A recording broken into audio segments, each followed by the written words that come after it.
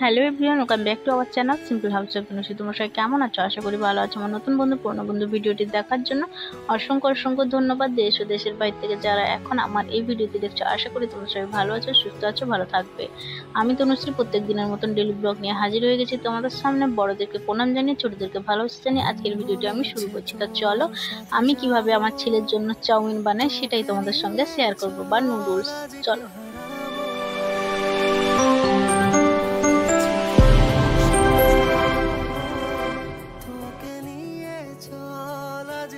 তো চাউমিন বানাবো বলে এই যে প্রথমে এক প্যাকেট আমি চাউমিন নিয়ে নিয়েছি, দশ টাকা দামের একটা প্যাকেট।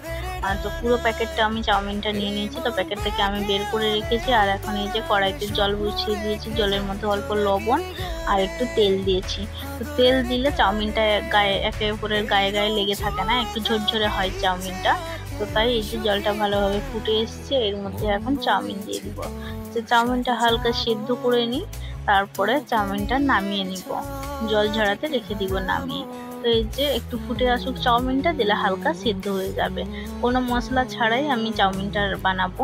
আর চাউমিনটা একটু হলুদ কালার করার জন্য একটু আমি এই যে এর মধ্যে একটু হলুদ দিয়ে দিলাম যাতে হলদে কালার হয় একটু আর কি। এই যে চাউমিনটা আমার সেদ্ধ হয়ে এসছে, এখন চাউমিনটা নামিয়ে ভালোভাবে ধুয়ে নিয়ে একটু বেশি করে জল দিয়ে ধুয়ে নিয়েছি। যে দেখো, জল দিয়ে ধোয়ার পর চাউমিনটা কতটা ঝরঝরে হয়েছে, দেখো, হালকা হলুদ কালার হয়েছে।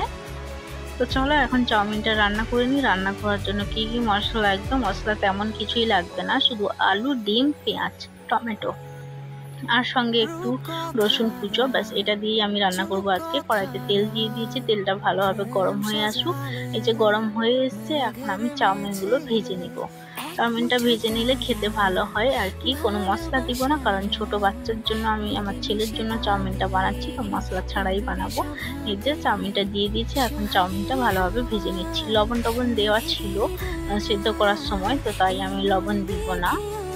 তো ফাইনালি আমার চাউমিনটা ভাজা কমপ্লিট এই যে দেখো, চাউমিনটা ভেজে নিয়েছি, খুব ঝরঝরে হয়েছে চাউমিনটা। আর এখানে এই যে মশলা নিয়েছি বলতে, মশলা, সবজি তেমন কিছু নয়, অল্প রসুন নিয়েছি, টমেটো নিয়েছি, পেঁয়াজ কুচো নিয়েছি।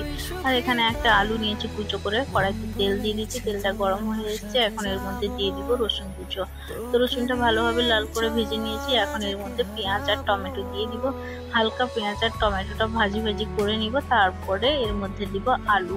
তো এখন এই যে লবণ আর পেঁয়াজ, সরি, লবণ বলছি, টমেটো আর পেঁয়াজটা ভেজে নিচ্ছি, অল্প লবণ দিয়েছিলাম, তো যাতে টমেটোটা গলে যায়। আর এর মধ্যে এখন এবার দিয়ে দিলাম আলু। আলু দেওয়ার পর আর একটু লবণ আর হলুদ দিয়ে ভালোভাবে ঢাকা দিয়ে দিয়ে আলুটা সেদ্ধ করার পর্যন্ত ভেজে নিব। তো এই যে দেখো ফাইনালি আমার আলুটা সেদ্ধ হয়ে গেছে।